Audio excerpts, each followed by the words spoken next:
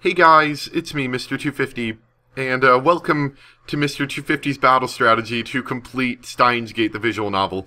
So, uh, if you've been following me, you know that we just got the Suzuha ending recently, which, uh, I probably will post it on the same day I post this. Uh, it's, for me, it's coming, it, I will be posting the actual videos tomorrow, but, uh, I will release this a little bit tomorrow, a little bit after the, uh, the videos come out.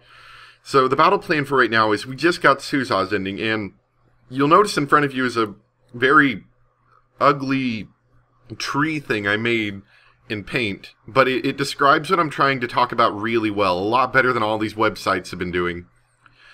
And so the way the game works is, to get Suzuha's ending, I chose not to, well, I, I wouldn't say chose, I didn't know I was supposed to make the choice, but I had chosen not to send an email to Okarin to change Suzuha's past. But now we're going to do that, which will set us in line for Faris's ending. We can get Faris's ending, which keep in mind, Faris's ending goes along a common path that all these other endings go along, which means we won't have to replay them.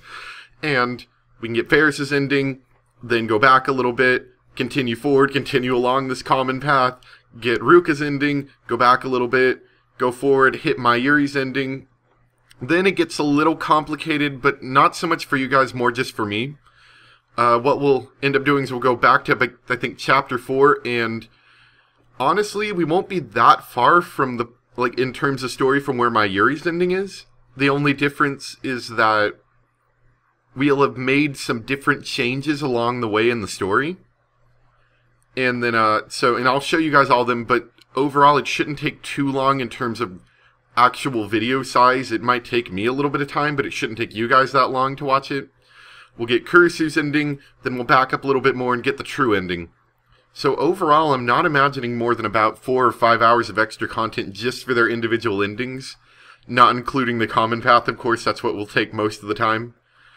So that's the battle strategy for right now, and uh, hopefully all goes well. I'll be having a uh, be having a web page next to me to you know, while I'm recording to keep open any important, you know, any important decisions I need to make so I know them ahead of time.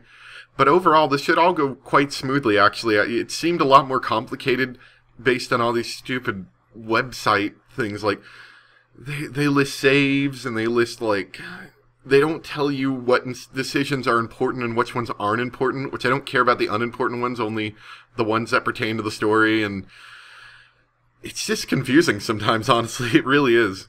So hopefully, uh, this very poorly drawn tree should have listed out more exactly what we're going to be doing. And honestly, it could be modified a little bit more to be, like, have more information in it, but I felt like this was the easiest way to explain what we're going to be doing.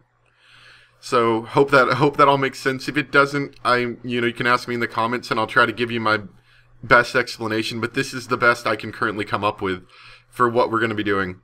So I hope you guys enjoyed, and uh, in a few days we'll begin with Faris's ending. Thanks for watching. Bye!